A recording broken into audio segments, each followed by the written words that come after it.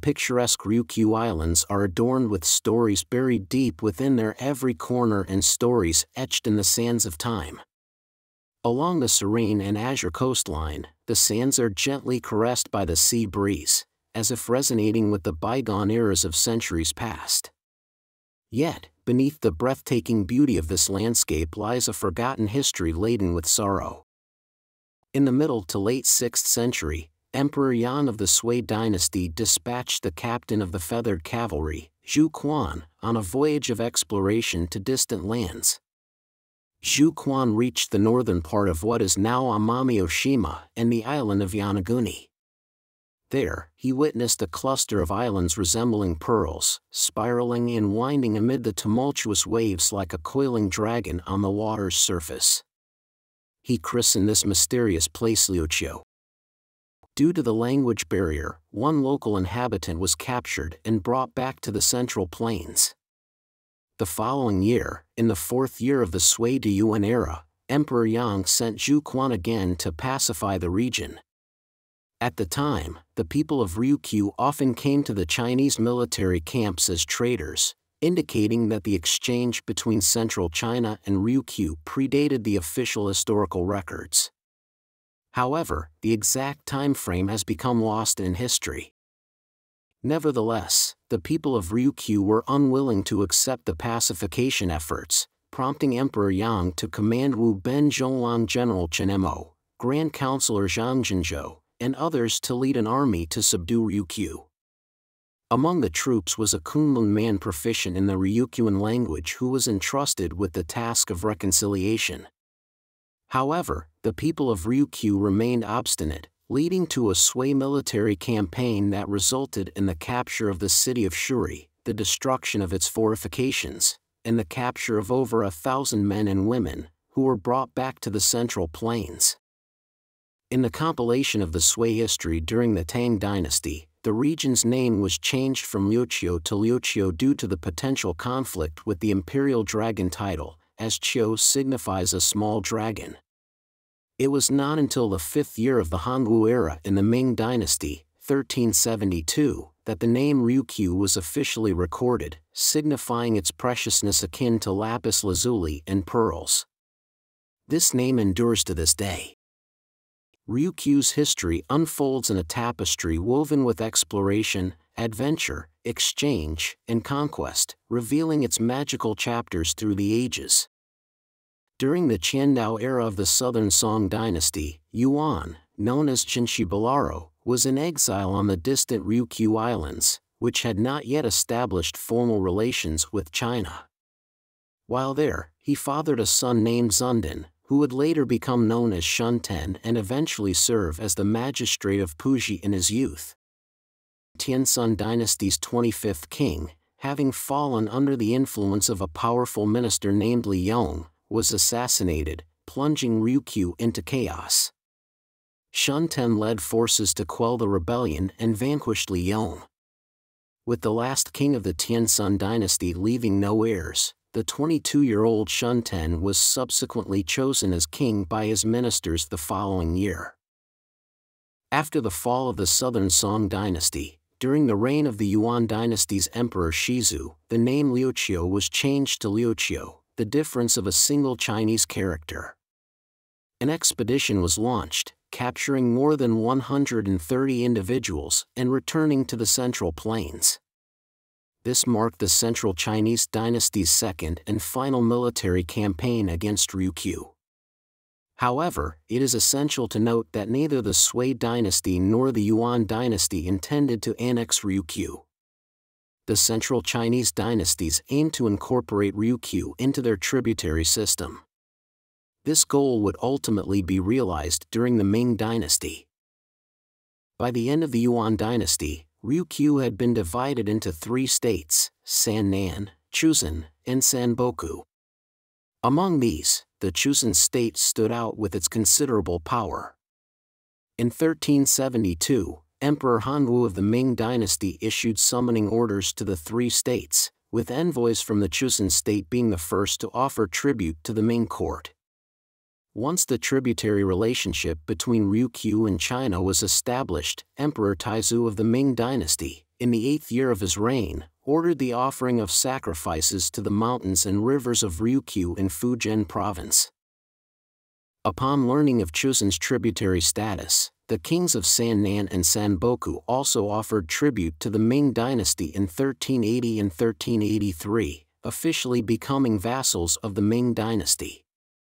They vied for recognition and support from the Ming dynasty.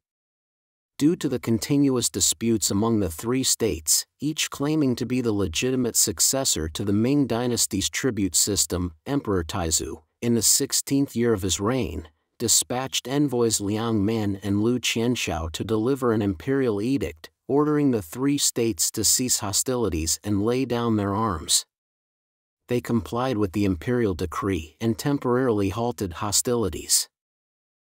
It was not until 1429 that King Shangbatsi of Chusan defeated King Terahai of Sannan and unified the three states, establishing the Ryukyu kingdom with its capital in Shuri Castle. King Shangbatsi was officially conferred the title of the Ryukyu king by the Ming government. In the fifth year of the Ming Xuande era, in 1430, Emperor Xuanzong decided to bestow upon the Ryukyu king a unique Shang surname. This conferred surname carried profound implications, as in ancient China, the character Shang signified the responsibility of managing imperial affairs. Emperor Xuanzong's act of granting this surname was well considered and significant. From that point onward, during the Ming and Qing dynasties, successive kings of Ryukyu were required to accept China's inauguration to ascend the throne legitimately. Otherwise, they could only be called crown princes, temporarily responsible for governing the country. This investiture system remained unbroken from Sado to the last king, Shou Tai the political legitimacy of Ryukyu's kings hinged on recognition from the central Chinese dynasty.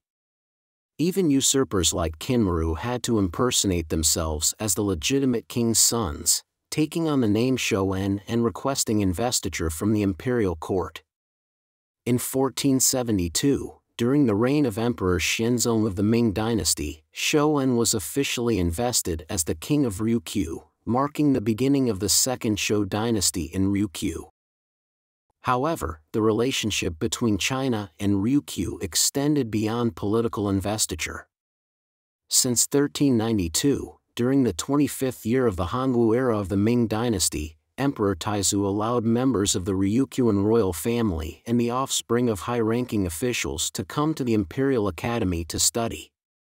Concurrently, recognizing the challenges faced by Ryukyuan envoys during their sea voyages to China, the Ming dynasty specially granted immigration to the 36 clans of Min people to settle in Ryukyu. These Min people were experts in shipbuilding and navigation. They served not only as skilled seafarers but also played crucial roles as interpreters and in other matters related to tribute missions. This move aimed to promote the values of the suzerain state, propagate Chinese cultural ideas like Confucianism, and foster the growth of Chinese cultural influence in the vassal state. Among the 36 clans sent to Ryukyu, the majority of them were of Fujianese descent, including surnames like Sheng, Yang, Lin, Liang, Cheng, and Jin, while others were of Quanzhou descent, primarily the Kai surname and Zhangzhou descent, mainly the Ruan and Mao surnames. However, over time, the influence of the 36 clans in Ryukyu did not grow stronger but somewhat waned. By the end of the Wanli era, during the late Ming dynasty, many of the 36 clans had either disappeared or changed their surnames, with only a few surviving relying on the descendants of these early Ming immigrants to serve as officials or interpreters in Ryukyu became increasingly unlikely. In 1607, during the 35th year of the Wanli era, King Shou-Enlai petitioned the Ming court to follow the precedent of the Hongwu era and allocate the 36 clans back to Ryukyu, reinstating their duties. However, this request was politely declined by the Ministry of Rites. Consequently, as they could not obtain the opportunity for fresh waves of Chinese immigrants to Ryukyu, the influence of the 36 clans from the early Ming dynasty gradually diminished without new blood from mainland China. The downfall of the Ming dynasty and the termination of the Ming Ryukyu tribute relationship plunged Ryukyu into a state of uncertainty. It provided Ryukyu with multiple options for handling its foreign relations. However, ultimately, Ryukyu chose to establish a suzerain tributary relationship with the Qing dynasty, becoming a part of the East Asian tributary system centered around the Qing dynasty. The establishment of the Qing-Ryukyu tribute relationship was accompanied by mutual struggles and negotiations among various power groups during the transition from the Ming to the Qing dynasty. During this process, Ryukyu opted for the Qing dynasty as it was the most powerful entity capable of ensuring Ryukyu's national security and economic interests. This choice allowed Ryukyu to maintain its sovereignty and facilitate economic and social development within the Qing dynasty's suzerainty system. The decision was primarily driven by realpolitik considerations, including the historical accumulation of centuries of Sino-Ryukyuan tribute relations and the associated sense of identity, the pragmatic economic interests of maritime merchant groups dominating Ryukyu's trade activities, as well as Ryukyu's national character marked by submission and humility.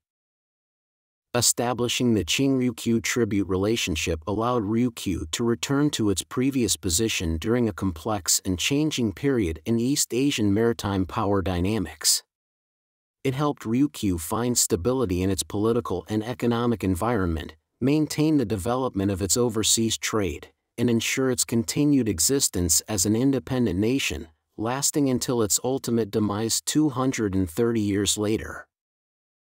From the second year of the Ming era, 1404, to the fifth year of the Qing Tongzhi era, 1866, spanning over four centuries, Ryukyu was profoundly influenced by Chinese culture, and its official language became Chinese.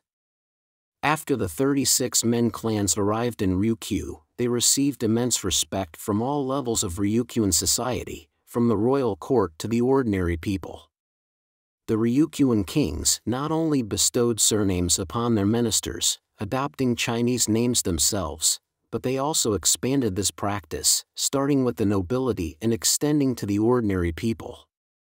They ordered the major noble clans to compile genealogies so that every Ryukyuan family could trace its lineage, know its rank, and understand its seniority. This practice helped the Ryukyuan people honor their ancestors. Over time, it contributed to the development of Ryukyu as a nation that valued etiquette and ceremony. The 36 Min clans in Ryukyu primarily handled maritime affairs, shipbuilding, the composition of diplomatic documents, translation, and trade with China. Their descendants were dominant in linguistic abilities and Confucian learning in Ryukyu. They were entrusted with significant responsibilities, participating in crucial political, economic, and cultural activities.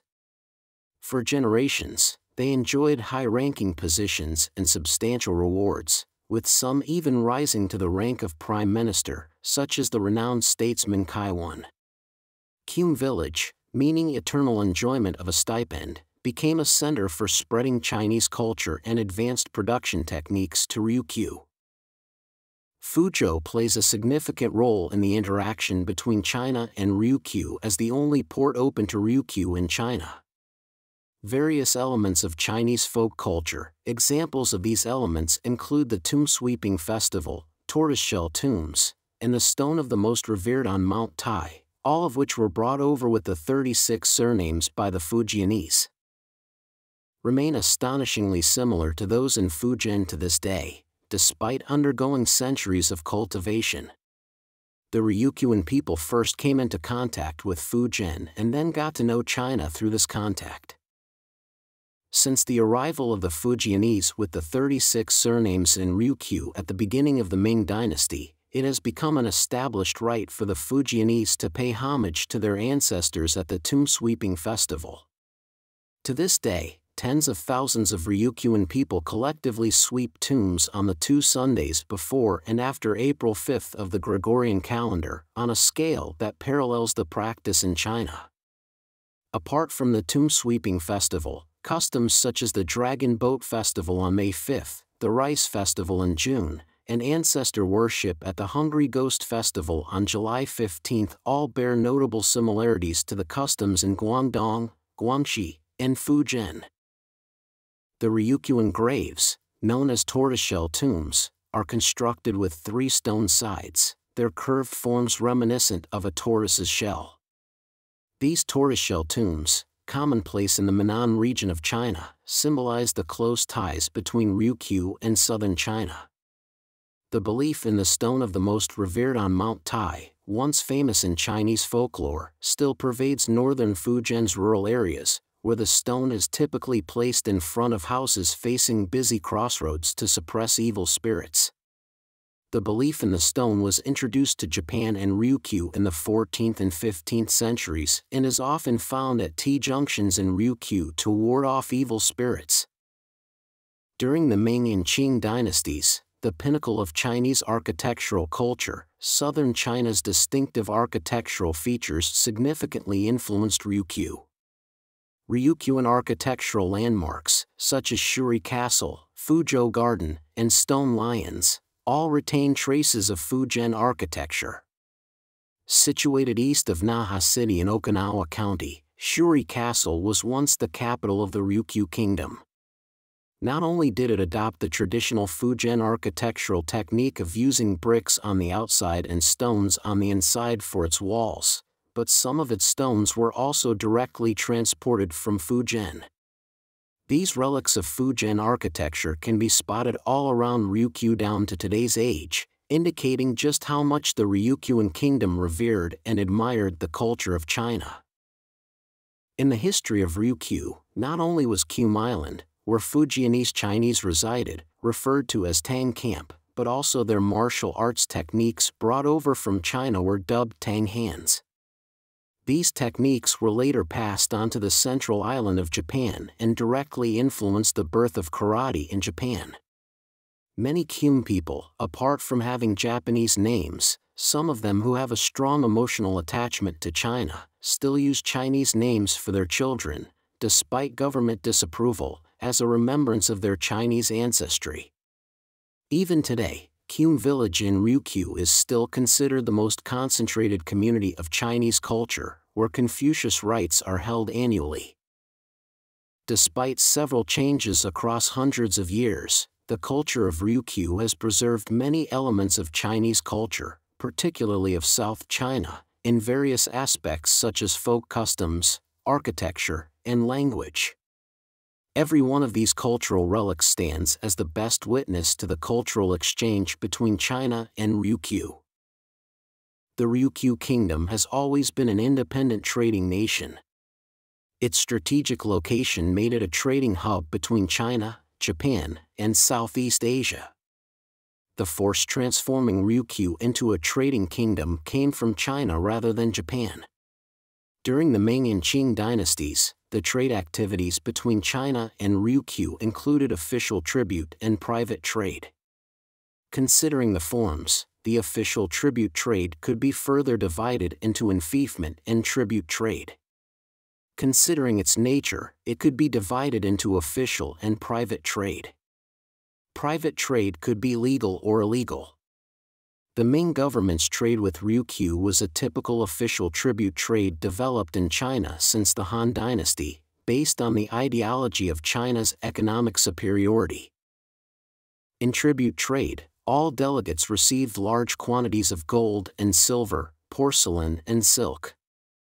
In addition to the representatives who came to the capital for tribute, many Ryukyu followers stayed in Fujian Ryukyu House because the Ming government mainly controlled trade between China and Ryukyu for political appeasement, grand and extravagant gifts were given in return. Precious shipments were sent to specific countries in East Asia and Southeast Asia to be sold or distributed to political allies. The tribute trade was an official commercial tactic within internation interaction at an official level. However, the Ming and Qing dynasties' marine conservatory but variable policies resulted in the sea ban, prohibiting private overseas trade to monopolize foreign exchange through tribute trade and simultaneously geared towards consolidating the rule and maintaining social stability. Despite the prohibition of private maritime trade with the strict regulation of tribute schedules for vassal states, Ryukyu rapidly took advantage of trade opportunities in Southeast Asia with the excuse of being a small and weak country without ships for tribute, then with the assistance of conferring nationality, crafts, and preferential tribute period from China, building trade bridges with Southeast Asian countries and eventually becoming a thoroughfare to all nations. Ryukyu was often able to exchange tributes and local products for generous rewards. Besides the tributes, the remaining extra goods brought by Ryukyu were also allowed to be sold at the post house. After completing their tribute mission in Beijing, the Ryukyu envoys would return to their country by sea from Fuzhou. The goods carried on the return ship included items rewarded by the court and a large amount of porcelain and silk items secretly purchased by the mission members in Fujian and Zhejiang. The money from selling local products and the Chinese goods they transported became the basis for Ryukyu to conduct trade with Southeast Asian countries the trade interaction between Ryukyu and Southeast Asia has many prerequisites, mainly dependent on the state of the Ming government's maritime policy. Under the circumstances where severe marine bans were imposed, Chinese merchants were declining. Various tributary countries wanted to obtain goods from China. Still, they were not allowed due to tribute terms, Ryukyu seized the opportunity of tribute trade quickly started and gradually expanded commodity exchanges with Southeast Asian countries. It initiated its own age of great navigation in 1425. The primary route of trade interaction between Ryukyu and Southeast Asia was to depart from Naha port in August or September each year, with the northeast monsoon reaching Annan, now Vietnam, and Siam, now Thailand, along Fujian and Guangdong. From there, the route was split into two, one continued along the southern part of Siam and traveled southwest via Fatani, the area around today's Patani in Thailand, to Malacca.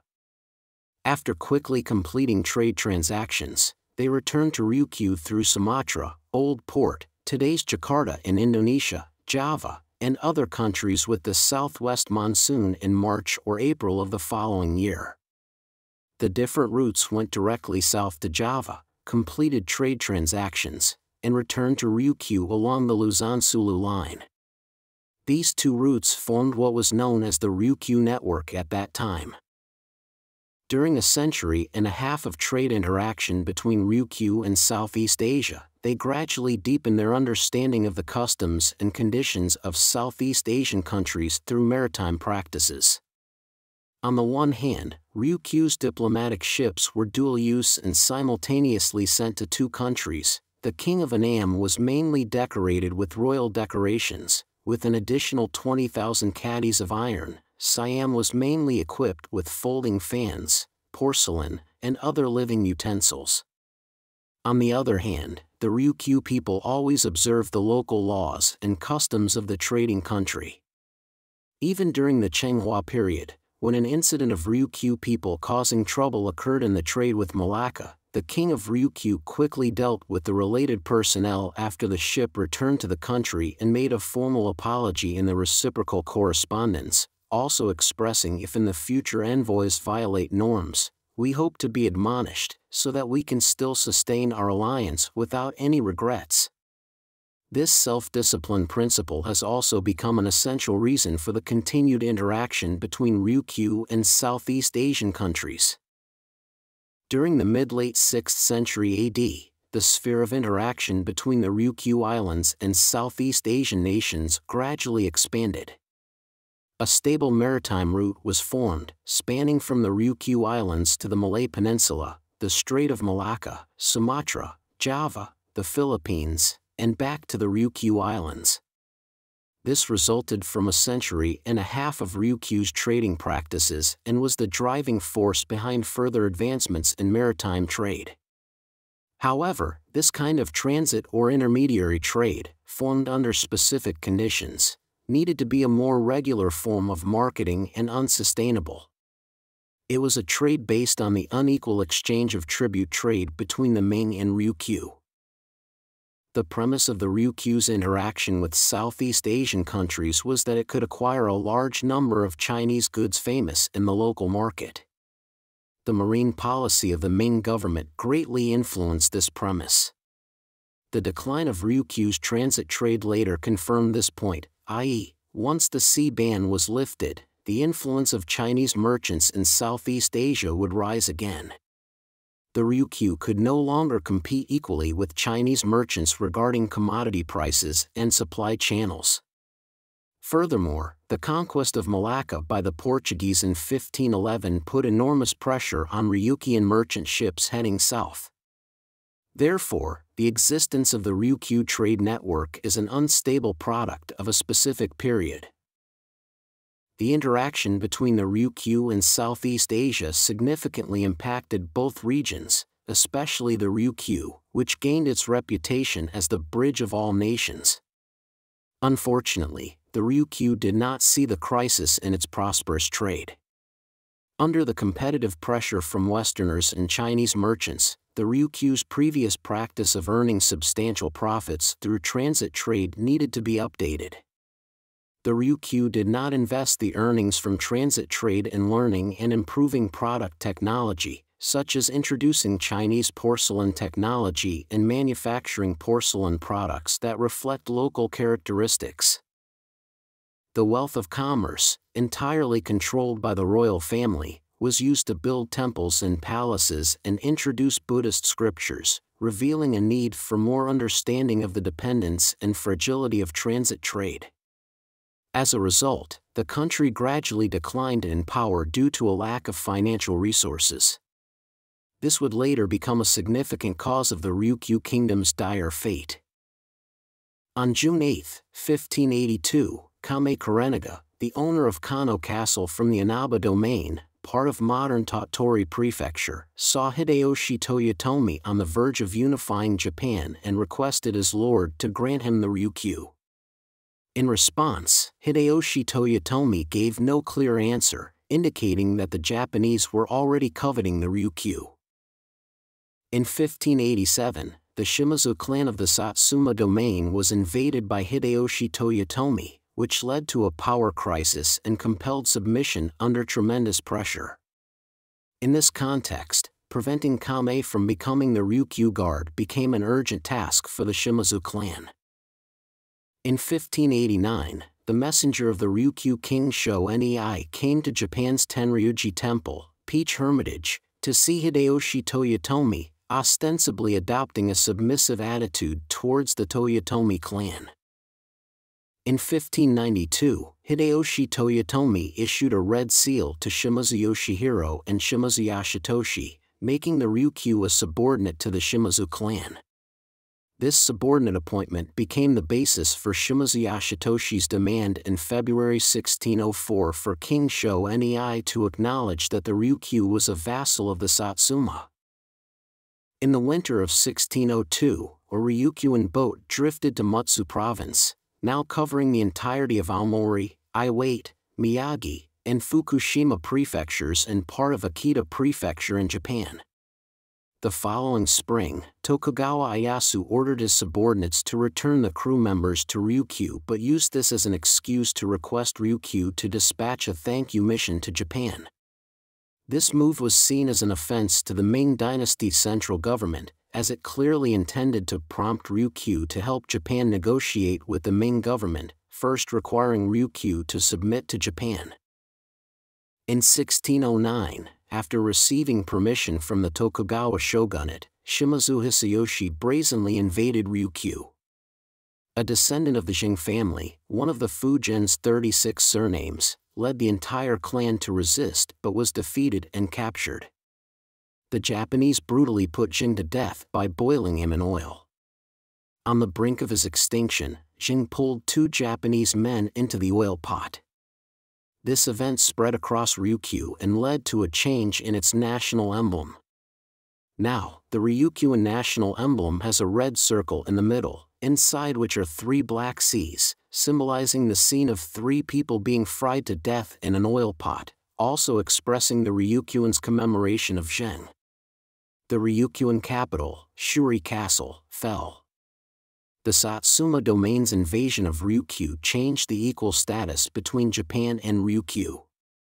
This invasion placed Ryukyu under Japanese rule, where the Japanese army plundered the conquered kingdom of Ryukyu the wealth Ryukyu accumulated through long-term foreign trade was ransacked as China was enforcing a maritime prohibition against Japan at this time, preventing average trade between China and Japan. To gain greater trade profits, Japan decided to use Ryukyu's special relationship with China to conduct business. Thus, the originally independent Ryukyu-China trade was also covertly controlled by Japan. In 1610, Shimazu Hisayoshi forced Sho Nei to pay homage to the Edo shogunate, and the second shogun, Tokugawa Hidetada, ordered Sho Nei to grant the Ryukyu tribute to Hisayoshi. Not depriving the king of Chusan was because the Tokugawa regime wanted to use Ryukyu to carry out peaceful negotiations with the Ming. To complete the reconciliation negotiations, Japan had to acknowledge the subordination relationship between Ryukyu and the Ming government at the time. However, while ostensibly pleasing the Ming, the Satsuma domain, with the shogunate's encouragement, had enacted ruling laws represented by the 15 Articles of Laws, intending to incorporate Ryukyu into the shogunate and domain system. In 1634, Tokugawa Iemitsu, the third shogun of the Tokugawa shogunate, proclaimed the Shimazu clan, intending to assimilate the Ryukyu issue into Japan. The Shimazu clan, a powerful daimyo, was instructed to bestow land and stipends on Ryukyu officials, attempting to Japaneseize the Ryukyu matter. The Satsuma domain, Shimazu clan, changed the title of the Sho family from Nakayama King, Chuzano, to Ryukyu Kingdom, Ryukyu Kunishir the title Ryukyu Kingdom first appeared in a letter written in 1615 by Shimazu Iehisa, addressing the governor of the Spanish colony of Luzon. That year, the Japanese side invented the title Ryukyu Kingdom to facilitate explaining Ryukyu's international status as a Satsuma domain vassal to the Spanish authorities. Japanese politicians, with shrewd calculations, sought to achieve their political objectives of annexing Ryukyu by using this strategy of linguistic ambiguity. This title also hinted at the intention of incorporating Ryukyu into the king-lord-governor Bakuhan system. As the Ming and Qing dynasties changed power, the positioning of Japan's relations with Ryukyu quietly transformed. In 1633, when Ryukyu welcomed Ming envoys for the inauguration, the Satsuma domain boldly speculated that the Ming government should have implicitly recognized Japan's control over Ryukyu, so we can consider presenting some gifts to the Ming envoys as a token of gratitude. However, when the Qing envoys visited Ryukyu in 1683, officials from the Satsuma domain claimed to be natives of the Treasure Island, Ryukyu, and concealed their Japanese identity while dealing with the Qing envoys. This was because the Japanese feared friction with the Qing dynasty over control of Ryukyu.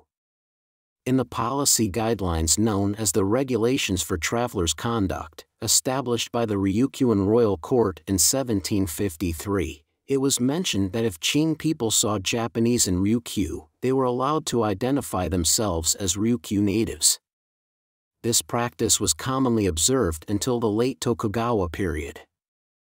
However, in 1848, with the frequent visits of Western ships to Japan, there was a different response pattern in a document titled Answer to the Hearts of Foreigners, which stated, when Japanese ships interact with other ships, Western ships, and are asked about their origin, they should answer that they are ships from the Japanese treasure island, this indicates that during the transition from the early modern period to the contemporary era, concerning issues related to Ryukyu, Japan employed an asymmetric approach when dealing with China and the West. One reason was to ease the vigilance of the central Qing government, and the other was to demonstrate Japan's sovereignty over Ryukyu to the west.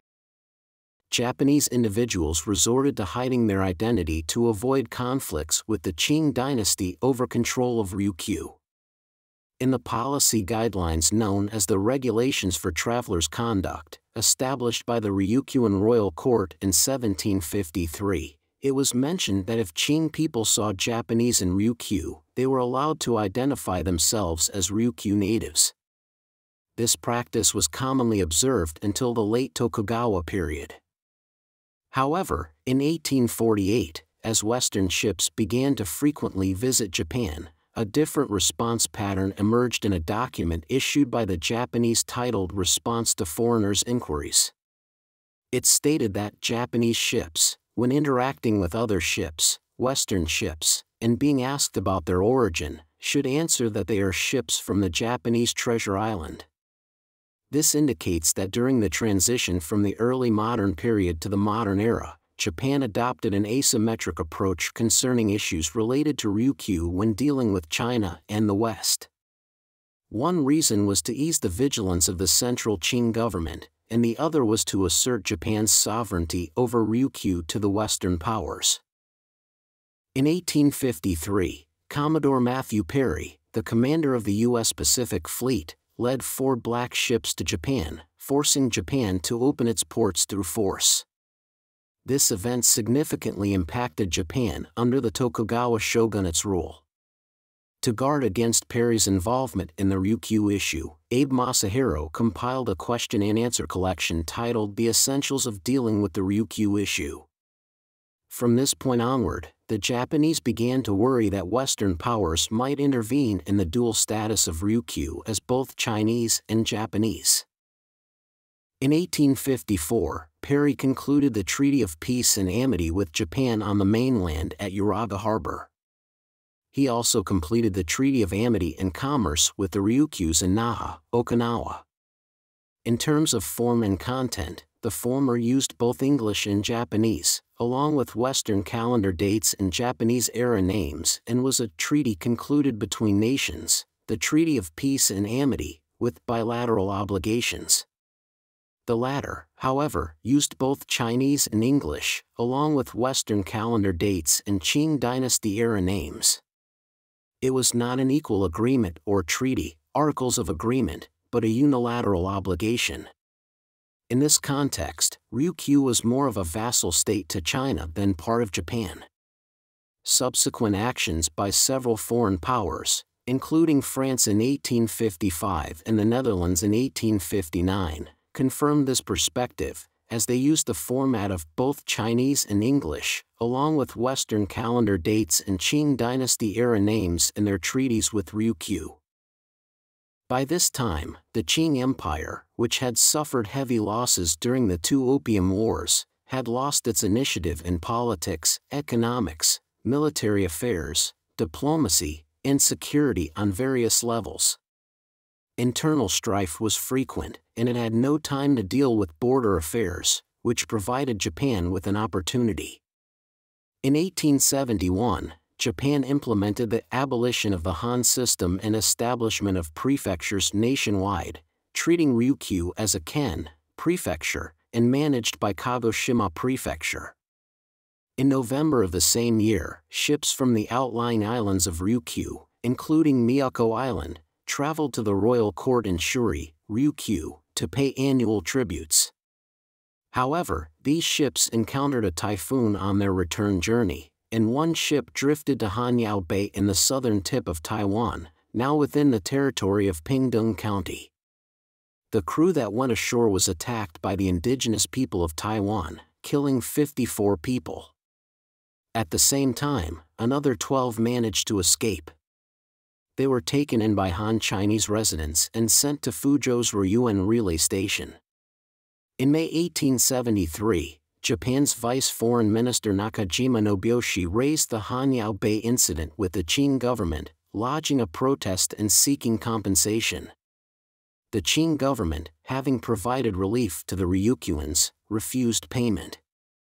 Premier Yamen Minister Mao Changxi told Japanese envoys, the killers were all aboriginals, and they may be left outside civilization for the time being. It is not convenient to pursue the matter further. Japan seized upon this opportunity, since the Qing government recognized the eastern Taiwan mountain tribes as aboriginals, they were not subjects of the Qing government, and since it was not convenient to pursue the matter further, it was not an area the Qing government was governing.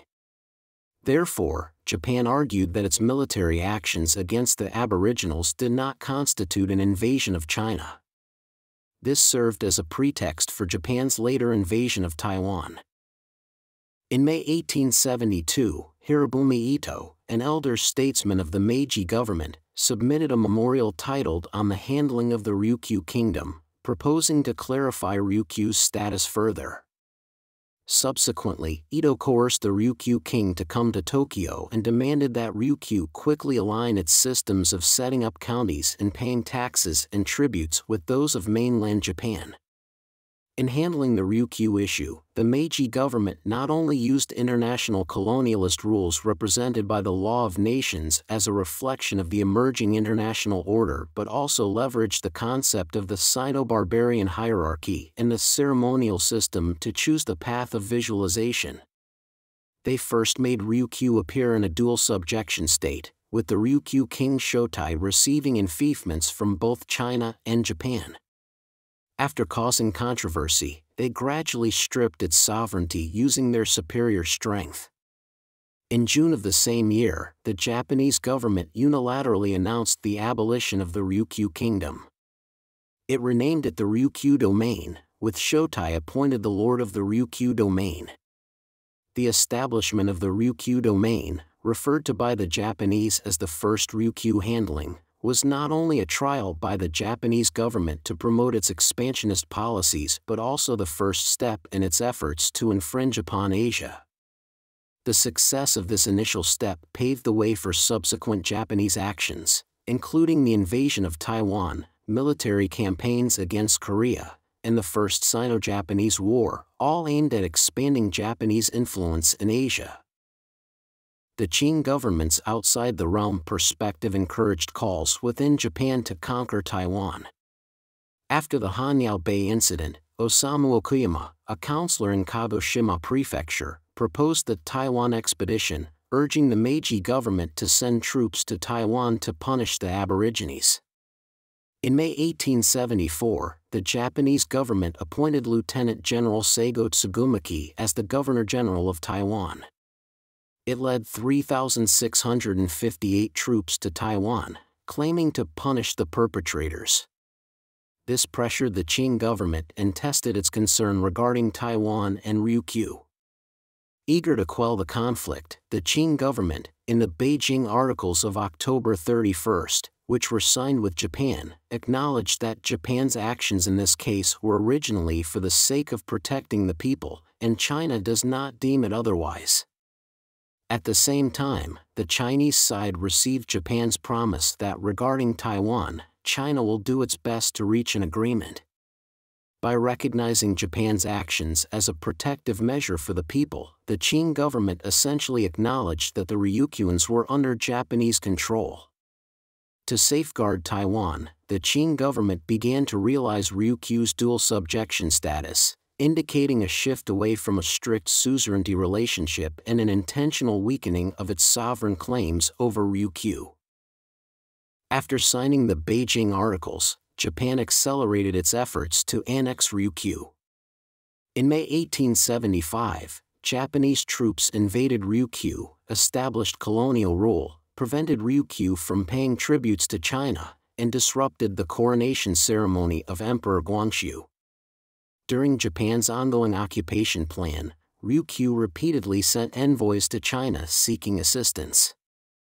In October 1876, King Shotai secretly dispatched envoys, including Shotoku Kozai, to China, beginning a lengthy campaign for rescue and survival. The following year, upon their arrival in Fuzhou, they presented a petition from the King of Ryukyu to the Chinese government, reporting Japan's attempts to annex Ryukyu. This information was immediately reported to the imperial court by Governor General He Jing of Fujian and Governor Ding Richang of Zhejiang, who also suggested that He Ruzhang, heading to Japan, negotiate directly with the Japanese regarding this issue. However, at this time, the Zibigu people in northwestern China were invading Xinjiang, and the court had no time to deal with Ryukyu, issuing only orders for He Ruzhang to negotiate with Japan. The court did not dispatch a single soldier to assist Ryukyu. To the Ryukyuan officials who came to present their case, the Qing court issued an edict instructing them to return home first. He Ruzhang followed orders and negotiated with Japan on the Ryukyu issue. He argued for Ryukyu's independent status and made efforts to preserve it.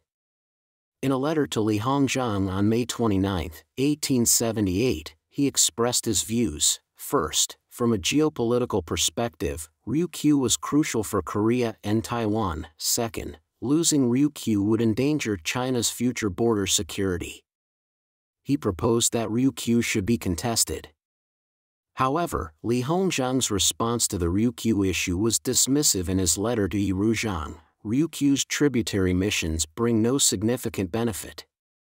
If we were to exert power against a minor state's offerings, we would pursue empty fame and neglect far-reaching considerations. Not only is it unnecessary, but also pointless. In his view, handling the Ryukyu issue was about competing for tributes. In his opinion, Ryukyu was too distant from China, and there was no need to contend with Japan for it. Regarding the response to the Ryukyu crisis, He presented three strategies in a letter to the Grand Council of State. The first strategy was to send troops and ships, question Ryukyu, and force them to pay tributes to demonstrate to Japan that they would contest this issue. The second strategy was to present a clear argument, request Ryukyu to take joint action, and show Japan that they would assist Ryukyu. The third strategy was to engage in repeated debates and, if they did not comply, either invoke the law of nations to hold Japan accountable or involve foreign diplomats to mediate.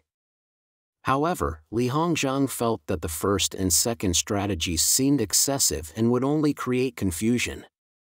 On one hand, Li Hongzhang was pressured by the pro-Japan faction, and on the other hand, he wanted to avoid provoking Japan into military action. Therefore, he did not advocate an aggressive policy towards Japan and only emphasized using the third strategy. He believed the best approach was to repeat our arguments if they are not accepted. This approach could serve a dual purpose. Japan, being aware of the validity of China's position, might not rush to abolish the domains and change them into prefectures, allowing Ryukyu to protect itself. Furthermore, China would not need to send troops across the ocean. Ultimately, Li Hongzhang's advice was adopted by the Grand Council of State. When he did not have full support from the Qing government, He Ruzhang negotiated in Japan. On September 27, 1878, during a dialogue between Ruzhang and Japan's Foreign Minister Terashima Munenori, Terashima stated, 300 years ago, we undertook the responsibility of governing Ryukyu. At that time, we appointed officials from Satsuma to manage Ryukyu's affairs. We also dispatched Japanese people to assist them in governance. Correspondingly, Ryukyu officials were sent to our mainland to consult on various administrative matters. Those who collect taxes on the land are its rulers, as seen in international public law and other documents. Although historical records mention that Ryukyu was a vassal state, we should evaluate the situation from the perspective of practical governance. Historical records are not sufficient evidence the Meiji government was using the pretext of taxation as the basis for asserting sovereignty over Ryukyu, even declaring that historical records are not sufficient evidence. In the same dialogue, the Qing government briefly proposed involving Western countries. Terashima angrily responded, I am making this proposal entirely for the sake of your country. For 3,000 years, Ryukyu has been considered part of our nation. Furthermore, we have willingly allowed Ryukyu to be a vassal of your country. Morally speaking, we have given country enough face. In fact, Terashima's use of the terms considered part of our nation and vassal was a deliberate attempt to blur the distinction between these concepts. While a vassal state typically possessed independent sovereignty, the concept of being considered part of our nation was broader and more ambiguous it could be interpreted differently in various contexts. Terashima conflated and reversed these two concepts in his speech, leaving He who was unfamiliar with the logic of colonialism and the so-called law of nations, unsure how to respond, ultimately believing that both considered part of our nation and vassal were elements of the territory concept as defined by the law of nations. In the unique context of that time, Japan's translation strategy indeed played a significant role in advancing its colonial policies. Some Japanese legal scholars continue to employ this logic and plan to deal with China's rise.